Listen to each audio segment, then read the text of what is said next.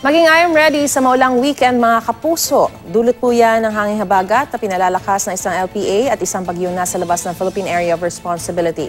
Ang LPA huling namataan sa layong 1,495 kilometers silangan ng Northern Luzon. Ang severe tropical storm, Shanshan naman, huling namataan sa layong 2,915 kilometers silangan ng extreme Northern Luzon. Hindi naman na inaasahang papasok ng PAR ang dalawang binabantayang sama ng panahon. Pero base sa datos ng Metro Weather, maghapong maulan sa Southern Luzon.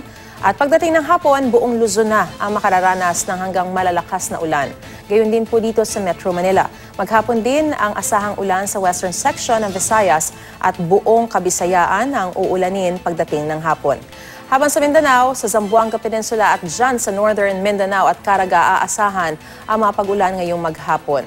Maging I am ready po sa posibleng pagbaha at pagguho ng lupa.